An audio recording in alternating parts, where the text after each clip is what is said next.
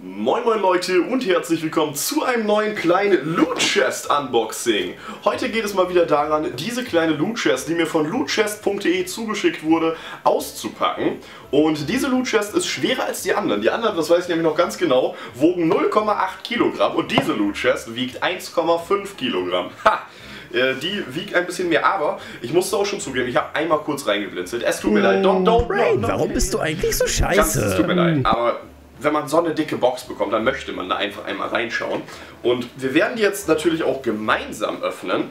Und es ist jetzt natürlich Weihnachten und da kann man sich ja vielleicht sogar vorstellen, dass hier ein bisschen mehr drin ist. Hier ist auf jeden Fall auch wieder das Lootbook, denn das ist die Loot Chest vom Dezember 2014. Und wir können ja mal einmal reingucken. Ne, ich, ich will hier gar nicht reingucken. Ich will gar nicht wissen, was da so drin ist. Denn ich will das ja mal selber entpacken. Und oh mein Gott, das sieht schon so sau cool aus. Also erstmal haben wir hier eine gute alte Candy Bar. Oh yeah, Candy Bar. Und dann haben wir, Leute, guckt euch das mal bitte an. Wie cool ist das? Wie cool ist dieses Heft bitte?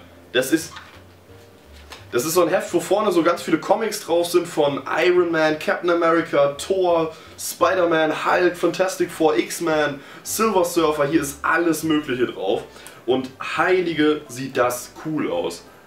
Also das schon mal ziemlich, ziemlich cool. Dann haben wir hier, was ist das? Showergel, Face Wash, Shave Gel. Wie cool ist das denn?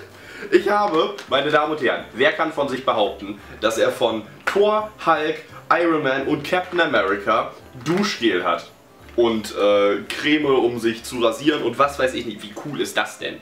Also ich habe jetzt auf jeden Fall Kosmetikprodukte von quasi fast allen Avengers. Das ist auf jeden Fall schon mal ziemlich cool.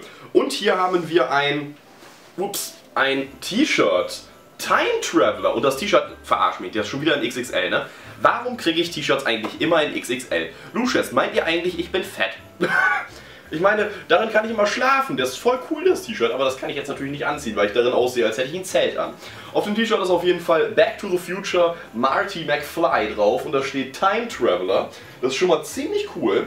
Auch wenn die Farbe, na, dieses Blau gefällt mir nicht ganz so unbedingt, aber mit dem Kontrast zu diesem, ja, Rosé bis zu, ja, Royal Blush Rot, wie man bei den ähm, Nike sagen würde. Da gibt es nämlich so ein Royal Blush, so heißt das. Hier haben wir einmal jetzt noch einen äh, von Rocket Raccoon, von dem Raketen-Waschbär von äh, Guardians of the Galaxy. Hier haben wir noch einen Sticker, was ziemlich cool ist. Surprise! Happy Unboxing. Das ist auch cool, was da drauf ist. Und wir haben hier eine Autogrammkarte. Worlds may change, galaxies disintegrate, but a woman always remains a woman. Danke für diese, für diese weisen Worte, James T. Kirk. Ähm, herzlichen Dank dafür. Jetzt können wir auch mal in das Lootbook gucken, was hier sonst noch alles so drin sein gekonnt hätte, schwer zu sagen.